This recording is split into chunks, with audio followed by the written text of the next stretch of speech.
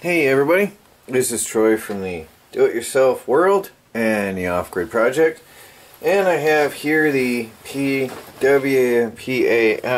folding solar panel. Portable USB solar panel. And I'm going to show you what all it comes with. Those of you who saw the intro video and the unboxing and first impressions have seen this already. But for those of you who haven't seen anything yet, I'm sort of starting over from scratch for y'all. You get a carrying case. It folds up nice and convenient there. You get two carabiners, and the purpose for that will show up in a minute. And then you get the solar panel, and of course a little handbook that tells you some details about it. We have here uh, model PW21 and it's 5 volts at 21 watts and that's pretty impressive for a portable folding solar panel like this. Um, max output per port 5 volts 3 amps and that itself is impressive. A lot of the modern solar panels and USB ports are only 1 amp max and this has got 3 amps per port and there's something another thing unique which I'll get to in a minute on the ports. This is folded 11.4 by 7.7 by 1.2 inches. I have to say I'm impressed for a Chinese made product. It is in inches, the one they sent me here in the US at least. You rarely ever get that. I'm really surprised about that. Unfolded is 22.8 by 11.4 by 0.08 inches. So, and when they count the, the, the height, I'm sure they're counting this because when the unfolded, there's no thickness at all really to consider. So obviously the, the obvious part, put it in direct sunlight. So now over to the ports. This is unique. There are two normal USB ports and a Type C charging port, the Mini C charging port. That you never see on these folding uh, devices like this. So that's pretty cool. Now, you open it up and you've got a very large, not going to fit in my camera, folding solar panel. You can see the size of this. It's pretty large. And um, they've got a unique waterproof, scratch proof, everything resistant cover on here. It's a, a, a almost a inverted pebbly texture. And something very important to note on this solar panel, they use the same materials, some of the same materials in the construction of these solar panels as the very, very expensive brands use. And this is a really affordable folding solar panel, especially for 21 watts, using the same type of materials in a very expensive solar panel which means you don't have to pay an outrageous amount of money to get a high quality device. Now I've had this around, I've been dragging it back and forth with me almost every single day since I got it. I, I uh, carry it to work with me, carry it at home, use it on the property. Whenever we have um, a sunny day, I get this thing out there and I'm charging up my camera, which is this here, or my uh, portable flashlights, and any other, well, portable LEDs. I use this. Reason being, this 21 watts is no joke. I mean, that's equivalent to a large solar panel on your on your uh, solar power array. If you consider 21 watts, you know it's a pretty decent sized panel. Considering that I can pump out 21 watts on this and save that much power continuously for my household use, this is great to have, even if you're off the grid and you have a solar power system. For disaster and emergency, um, I would highly recommend something like this that you have this because in a grid down scenario, power out, disaster situation, no power anywhere, you got no way to charge your cell phone for emergency use or a GPS to find your way around if you've got to get to an emergency point or a meeting point or radio or portable LED lamps or your flashlight.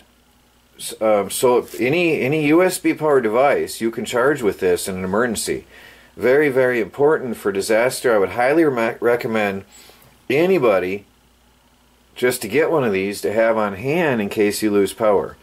Even if you're not considering off-grid living, this could save your life one day. No joke. Now for hiking and camping, you got the carabiners. You can hook it up and hang it on your backpack really quick. These are um, flexible corners, so you got to press it with your finger to get it in there. But now, pretty good springs in these too. Now I can hang it from my backpack or on my boat, camper, or on a tree. You can hang it from anything you want. Um, I've seen these hanging from the back of a backpack while you're walking through the forest or the mountains, charging your device on the go. And that's really nice to have. It's a neat little thing, an extra that they threw in there. They didn't have to. To help make it easy for this to be used anywhere.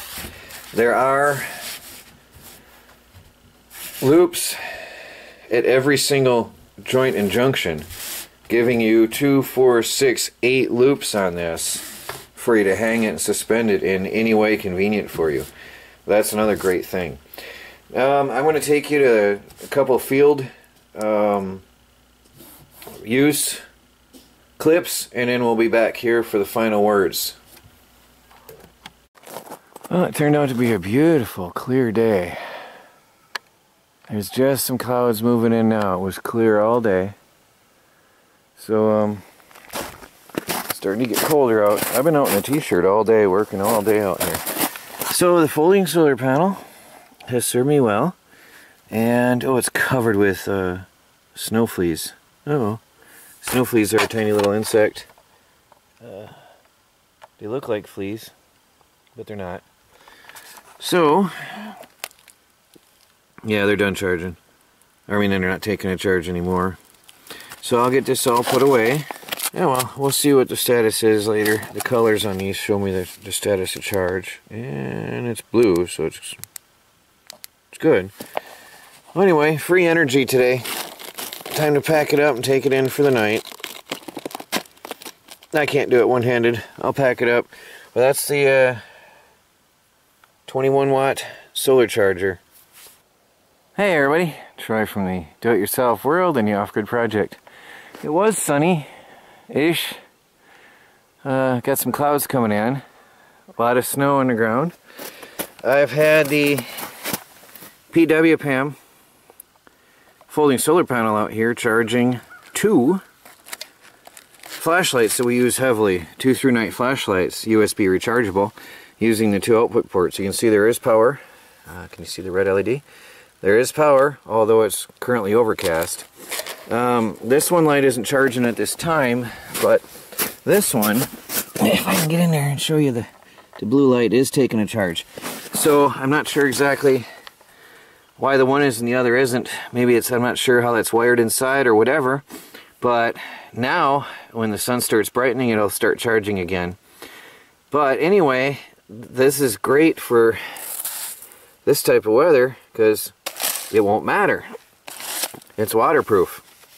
And that's one of the great things about this folding solar panel. I don't have to worry about what the elements are like at the time that I'm using it. Whether I'm fishing, hiking, boating, backpacking, or whatever, or sitting out here in my off-grid homestead.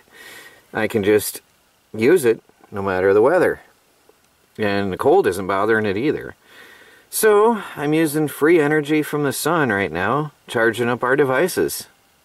Especially on the rare occasions like today that you get some good sunlight. Well, there was anyway. But with the sun reflecting, um, we'll get some good power out of that. And if you consider 21 watts at um, 5 volts, so 1 amp at 5 volts would be 5 watts. So there's a lot of power coming through here and enough to spare that in um, they'll be able to charge the devices even without full bright sunlight. So that's pretty good. Um, I mentioned some of the proofs, dust proof, waterproof. Um, this is impact resistant, so I wouldn't throw a rock at it, but it's impact resistant. It's dust proof and waterproof. Now, of course, I would try to keep the electronics safe and clear. That's already just in the um, light in here. It's showing a charge. So it's also very, very good um, sensitivity to uh, to the light. This is under a fluorescent lamp. It's 21 to 23 and a half percent efficiency on these solar cells, so that's pretty impressive too. Now, although it is somewhat impact resistant, I wouldn't be bending this because you'll probably break the cells. Solar cells are uh, fragile. They can take some little bit, bit of flexing, but I wouldn't go bending this up. Fold it on its normal intended uh, creases here. Keep it in your case and try not to crush it. Don't sit on it and it'll last you forever. Probably. I mean, well, solar solar cells usually last about a good 30 years and still have 80% capacity. I'm not sure about this particular technology, but generally solar cells will last you a long, long time. Depending on your age, it could be a lifetime. To get the best results, you as you've seen, I had it propped up against my car tire. I mean, you can use whatever you want. Out in the woods, prop it against a tree, against your backpack or whatever, but try to get it at a 90 degree angle to the sun for best uh, power conversion and best uh, best results. I have used it in uh, semi-cloudy days with um, partly overcast. Depending on your device, like a cell phone with the display, the um, with some of the folding solar panels, it may actually discharge your cell phone if you have a a day where it's getting cloudy, sunny, cloudy, sunny. Because every time you disconnect the charging or the charging uh, the power output of the panel is less than what it, you, your phone needs. Every time you connect, your display is going to come on. Every time you disconnect, your display is going to come on. That could actually use more power than what you could put into it. It's not the fault of the solar panel. If you can manage to uh, disable that feature in your cell phone, then you won't have any issues. Most other devices are going to charge up just fine with this on a, uh, a, a day where there's cloudy, sunny, cloudy, sunny. Otherwise, you want to charge your cell phone. Just make sure it's a pretty stable light output, um, pretty bright, and you shouldn't have any problems with it at all. Now, as you've seen, I did charge some flashlights with this on my demonstration, and it was mostly cloudy that day with some occasional sun. The one flashlight topped out perfectly. The other, I'm not sure what was going on there. It wasn't fully charged, but um, that's not necessarily the fault of anything. I have to double check that flashlight later. It could be the battery or something. But anyway, depending on what you're charging, you've seen this is pretty pretty powerful and the charge indicator comes on. So you could charge um, low current devices or slow charge a battery bank even uh, in a dim in-house lighting. So especially if you got something like this for emergency and disaster and you've got a power bank, a portable battery bank, leave this thing running charging that battery bank and charge it up over a period of days and then you've got portable power for emergency. Um, it's it's pretty good and pretty useful for a lot of different situations. Well, there you have it, guys. The PW21 folding solar panel, 21 watts, 3 amps at 5 volts of power. Get yourself one, keep it on hand for emergency, couple it up with your portable power banks and your LED flashlights or LED lights, and you've got a full disaster preparedness pack right there. Portable, thin, lightweight, easy to carry, easy to stash. I throw it in my desk drawer when I'm not using it. Super convenient. I'll put the links down below. And thanks for watching, guys. Please like, subscribe, and share, and follow our videos as we strive to become fully self-sufficient and off the grid on a budget. And definitely new, more solar power is always better when you're trying to become fully off the grid. Talk to you later.